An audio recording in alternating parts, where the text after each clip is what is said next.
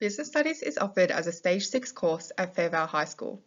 It can be a good option for students who have studied commerce in Year 9 and 10 or who have a strong interest in how businesses are managed.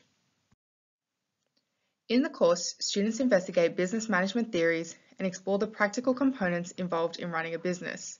Students investigate how businesses of different sizes operate, from micro businesses to large corporations. Business Studies is a two-year course. In Year 11, students will cover three topics. They will learn about the nature of business, business management, and business planning. Students build on this knowledge in Year 12, where they study four topics, operations, marketing, finance, and human resources. Across these two years, students will be demonstrating their knowledge by developing business reports and extended responses. In the Business Studies course, students are expected to apply their knowledge to real-world business case studies it is important for students to keep up to date with the operations of the businesses studied within the class.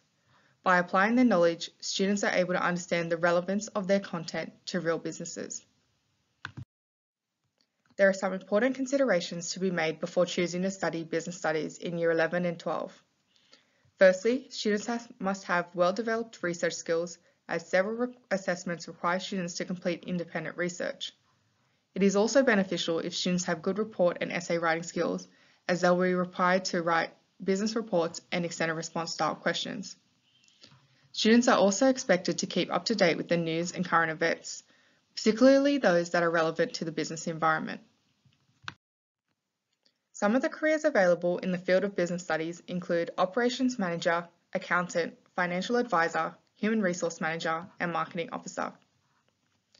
If you have any further questions about business studies, please contact one of the social sciences staff.